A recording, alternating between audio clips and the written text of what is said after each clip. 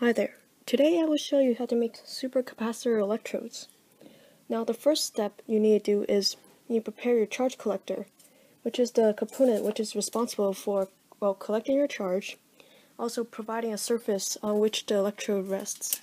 So uh, you just use aluminum foil, which is readily available and works.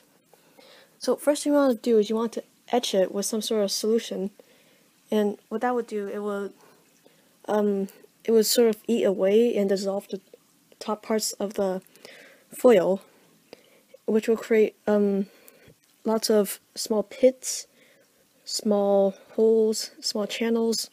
All these improve the surface area, which help the electrode material adhere to the surface better. Also increases the surface area, which increases the performance. So, uh, what I got here is a cup of my electrolyte solution. 100 milliliters of water, 2 teaspoons of Epsom salt, which is magnesium sulfate, and 2 teaspoons of table salt, which is sodium chloride. So I'll just stir it for a sec because uh, I haven't stirred it very well. So you want to flatten your aluminum foil out and after you're done stirring, you gently pour some of your solution onto the foil.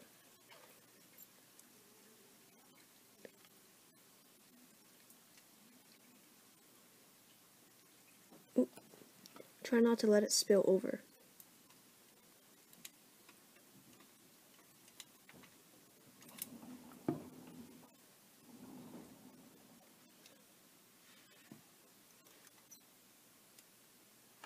Okay, now you want that to sit for a while until the surface of the aluminum turns a dull gray.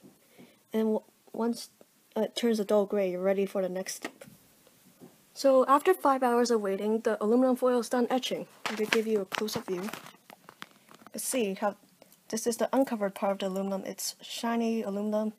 This is slightly dull gray, like a frosty layer. And so the problem is your salt solution is also slightly opaque.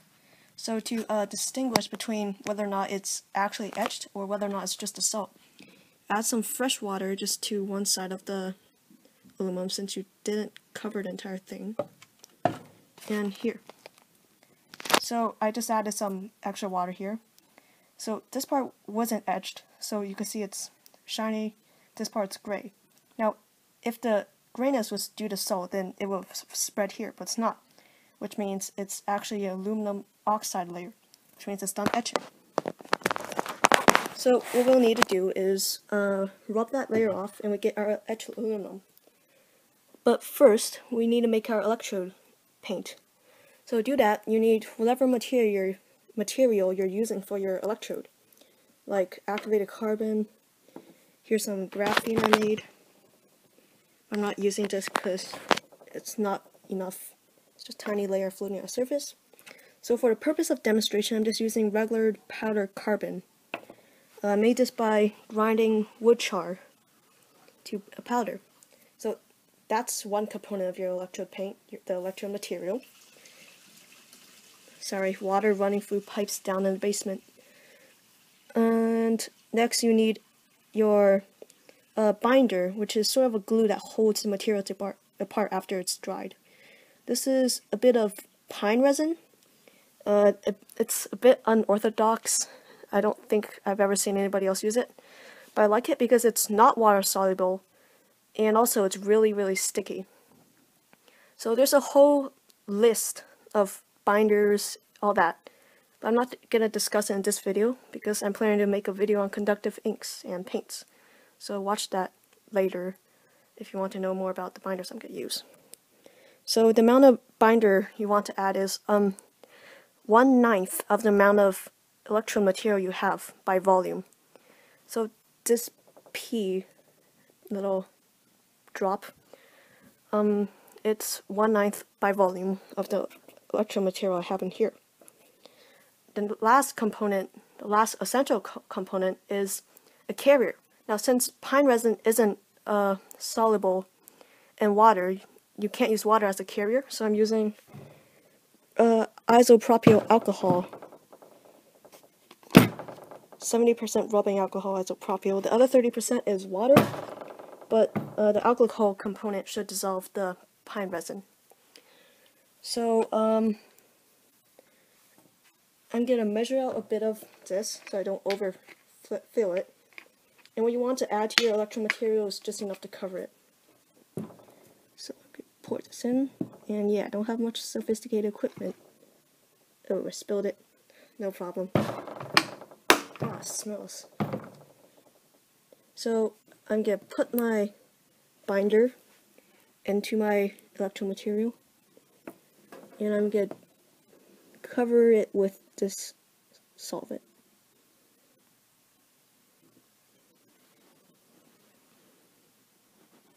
And next I mix.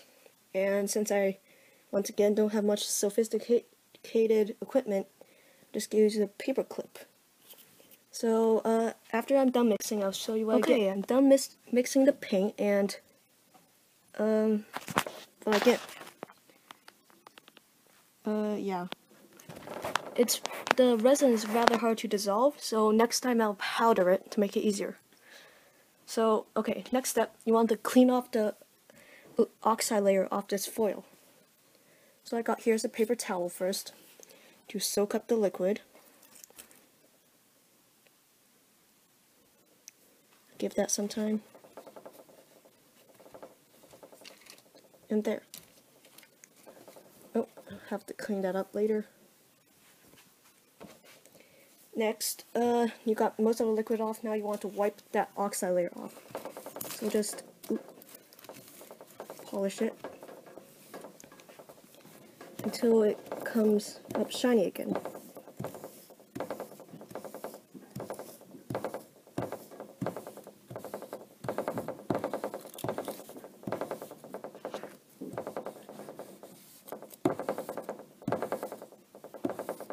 And that's about it. So now you can see that that oxide is off.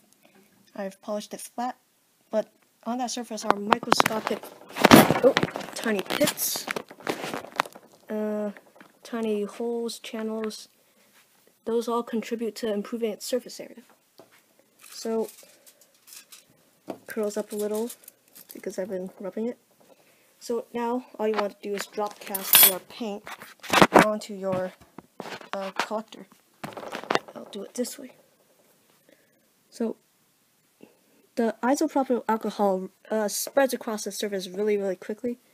So just be warned. You can see there's that dot, but around it, probably can't see on the cameras, all the alcohol just drained off.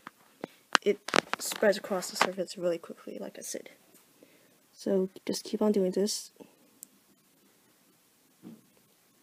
till you got your electrode.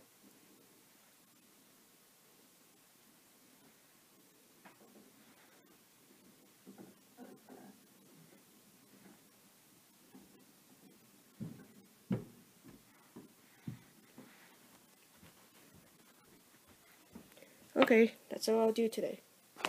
So, uh, all the alcohol mainly spread has spread off and evaporated. The remainder of that is the 30% water of the solution. So you let that dry for a while, and then you just cut out your electrode from this. Um, yeah, so this is how you make supercapacitor electrodes. Thank you for watching.